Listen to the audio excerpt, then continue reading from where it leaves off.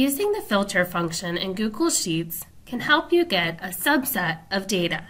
So for example, if I'm looking at our master schedule and I want to see all teachers who have a planning period in period one, all who have planning for period two, etc., and that's all I want to see in my sheet, I want to use the filter function. You could use the filter tools in Gmail, but that'll only show you one column at a time.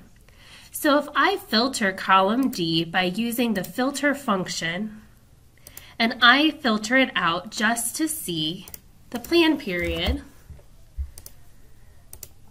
now I can only see period one plan. I can't next to that see who has planning in period two. So to do that, I'm going to use the filter function to make it look a little bit more like this. Let's take a look at that function. In cell B2, I start with the equal sign as I do for any function that I write, and filter is the function that I use.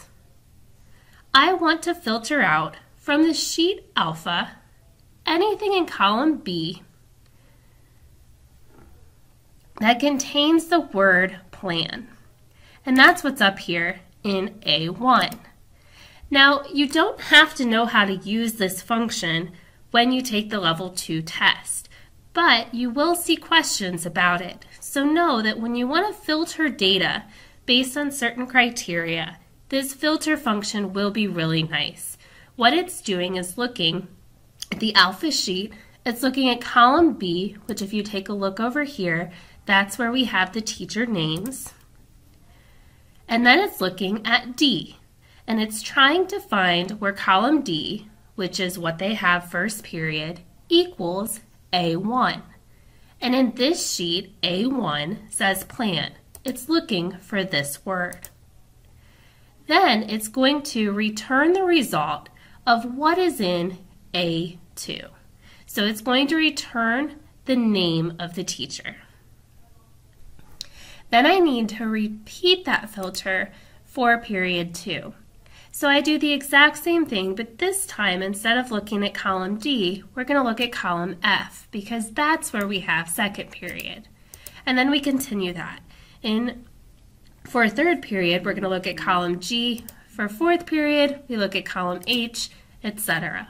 And this will return the results of the teachers who have a planning period during that time. We do have this broken down into first and second semester, the next thing that we're going to take a look at is conditional formatting. Conditional formatting will automatically color code or format your cells based on the criteria that you tell it. So here I already have some conditional formatting. If a cell appears with an R in it, it'll be the color red. If it appears with a Y, it'll be the color yellow. And if it appears with a G, it'll be the color green.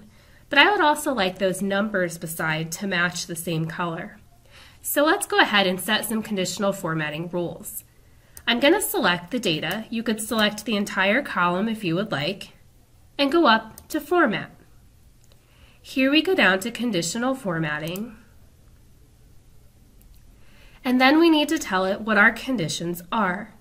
So for the column G, I want if it is,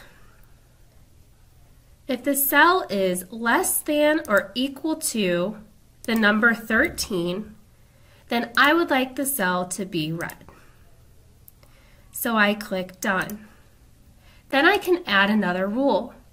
We're looking at the same column. Let's do if cell is between the numbers 14, let's actually do 13 and 20, then we want those cells to be yellow. Then finally, let's add another rule for green, and that would be if the cell is greater than 19, then we're going to change it to green. Now, no matter what I put in these cells, if it's between those numbers, it's automatically going to format to those colors for me.